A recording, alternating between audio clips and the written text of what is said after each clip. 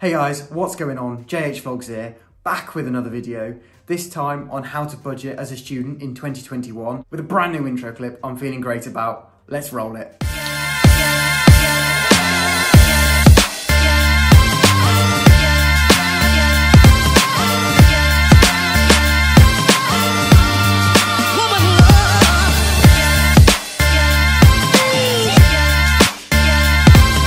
I love it and I can't get over it. I do realise that by the time you're seeing this, it would have already been applied to two or three videos, but I can't help feeling a bit ahead so that when exam season rolls around, I can keep the pressure off of myself while still consistently uploading content for you guys. Anyway, let me know what you think about the intro down in the comments box below, along with any other questions you may have. So today's video on how to budget as a student in 2021, I'm mainly going to be focusing on giving you a strategy on how to budget rather than specific money saving tips and techniques. Although saying this, if you stick around to the end, I will cover a few of these for the most common student expenditures. But the reason I haven't touched on this too much is because everybody spends their money differently, so it might not be as applicable for you, whereas this method is solid and works across all budgets. Firstly, we need to figure out how much we have to budget from in the first place. The easiest way to start this off is to total up all of your incomes. So that can be from your student loan, from your part-time job, your scholarship, from your bursary, any side hustles, or if you're lucky enough, money from friends and family etc. Just get down every single form of income you've got. Now, to get this on a consistent basis, I'll work out my total income for that whole university year. This will be easier to do when you have more fixed incomes like a student loan as opposed to a side hustle or your own business, but stick with me here. But I create this grand total amount for the year, and then I begin to minus away the fixed cost necessities that I have for living. So this includes things like my rent and my phone contract, and then I begin to take away my fixed wants more than needs. So my gym membership, my society membership, any money that I want to save for a holiday over the summer, different people's birthday money, Christmas money, etc. And I take all of this away from the grand total amount that I had. This remaining number that I have, I then divide by the number of weeks I'm at university, which is normally 33, 30 weeks of term plus the three reading weeks. And that will then give me a budget that I can spend on a per week basis. Now, I'm going to be really basic here as I don't want to reveal my own budget and I certainly don't know your budget as the viewer. So let's just say after you've deducted all of this, so after you've totaled up your income, after you've minus those fixed necessities to live, after you've minus the fixed wants you wanted to live, and then divided by the 33, that number, let's just say that's going to be 100 for the sake of simplicity. That gives you 100 pounds per week to spend as a budget. The next step is to deduct the flexible essential costs. Now these are just as essential to you living but tend to fluctuate more on a week to week basis. So for instance, gas, electricity, heating, things like that. You'll obviously use more in the winter and food. I tend to vary the amount I spend on food depending on my other incomes. Like I try to spend as much as possible, but obviously sometimes I have to cut back. I will then immediately total all of these up or an estimate of what these will be up and subtract that from the 100, whichever number you're left with then, and I appreciate this point, it's quite a long chain of numbers, hopefully I've got it up on screen. I will then divide by seven to give me a daily amount I can spend.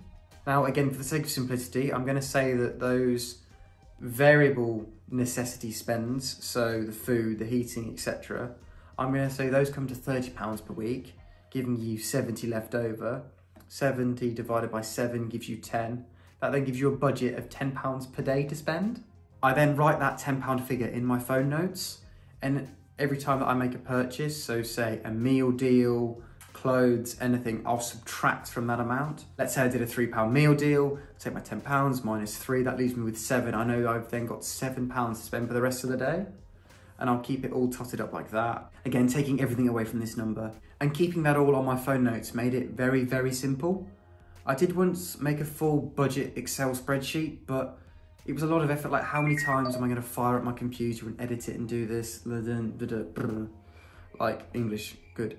Um, whereas on my phone, on my phone notes, every night I can just jump on, I can check it, see what's happened on my banking app, where have I spent money, minus that. And then any money I've got left over from that day, I know I can spend tomorrow. So let's say I get to the end of the day and I've only spent five pounds. I know that my budget the next day is 15 pounds or say if I've gone over it, say if I've spent 12, I try and only spend eight the next day. It really is flexible. It's not then meant to be like a cage that you're stuck in and you can't go over it and you start losing sleep. It's just a rough guide if you're in the right ballpark to stretch your budget out for the year. The idea is just seeing if you're spending at a sustainable level or not. So that you can slowly make adjustments so that your budget will stretch for the entire term, or year in this case. Personally, I don't even tend to spend a flat amount per week. So some weeks arise where I may spend a lot more. These don't tend to be planned, they tend to be spontaneous, either payments that suddenly come up or if we decide to go out an extra time that week. And all it means is I just have to recoup it at some point down the line. But it's no good saying like, okay, for this example, say you spend £200 one week. It's no good saying like, oh, I'm going to spend zero the next. It's just, okay, maybe I'll spend 80 for the next five weeks. The reason this is so key is because with your student loan, you're given all your money at one point and it is a whole lot of money, but it's got to last you a whole lot of time. And there is just that temptation to get it all gone immediately because why not? Party time, right? I'm just trying to help with the idea of budgeting it out over the whole term or the whole year. And if you do find yourself consistently struggling to remain within this budget, it may then be time to look at getting additional sources of income.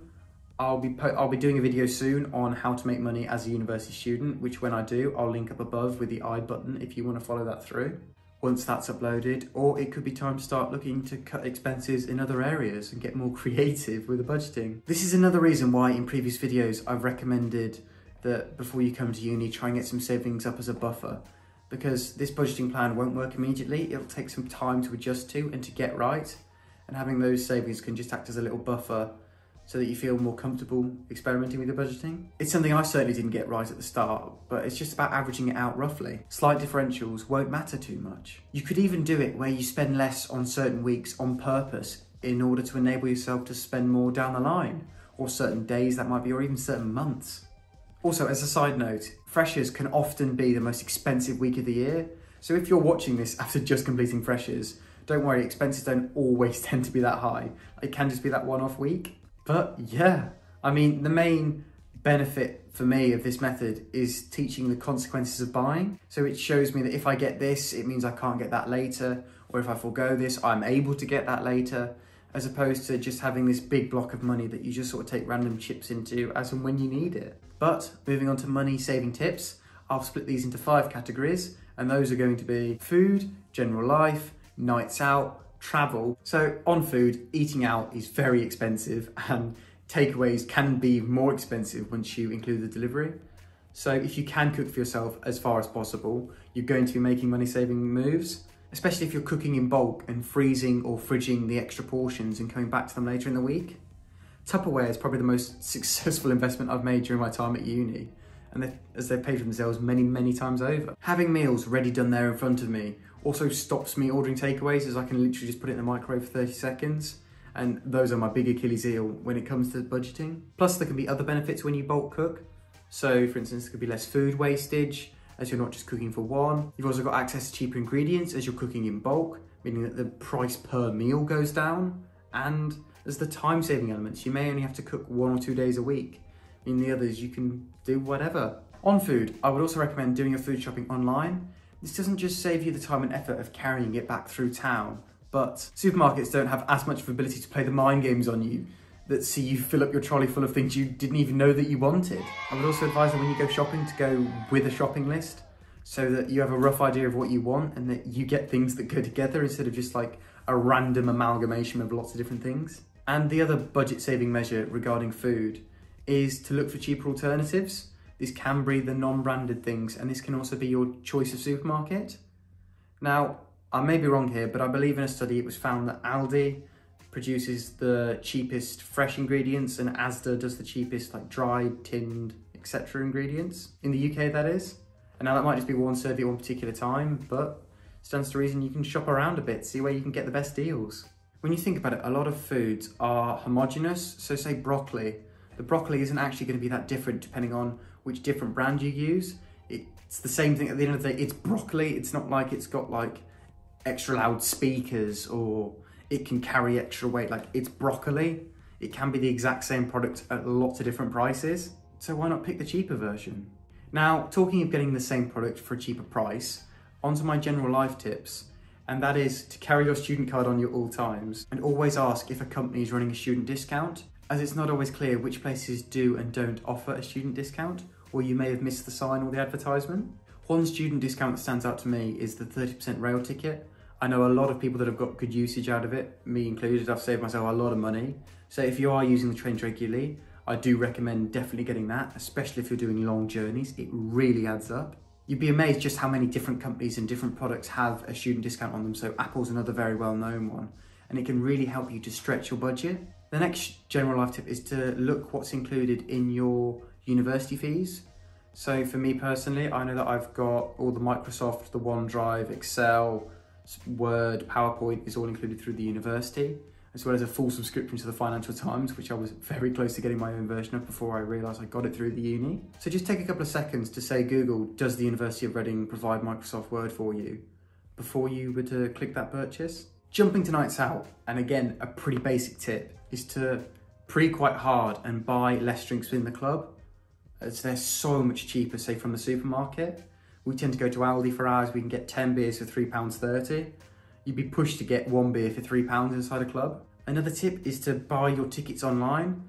The two main vendors at Reading are Fatsoma and Eventbrite, and buying them on here tends to be cheaper than buying them on the door, especially if you can get hold of the early bird releases which you can find online, which will give you an even greater discount on the price. Moving on to travel, as I alluded earlier, the student rail card is absolutely essential if you travel by the train. Alongside this, I can recommend walking to as many different places as possible. It's great in Reading, where I go to uni, as nearly everything's accessible by foot, as it is only a small town. And I mean, it's completely free, it's good for you, and it's good for the environment, so it's a win all round. I do get caught out in the rain though occasionally, it has to be said. But I probably walk to 95% of the destinations that I go to. There's also obviously cycling as an alternative to walking. Now, if you are traveling longer distances, taxis can be very expensive. So I try and recommend the bus. It's also better for the environment, so there's another little win. And it can just help, again, fit more into your budget. And that's pretty much everything I've got to cover in this video. It's a slightly different style today. I've tend to use less of a structured script and sort of like flow more. So let me know what you think of it down in the comments below. Also, let me know if you try out the budgeting method I mentioned or any of the money saving tips. Again, I'd love to hear if you have tried anything out in the comments below. And yeah, thank you very much for your time and have a wonderful rest of your day.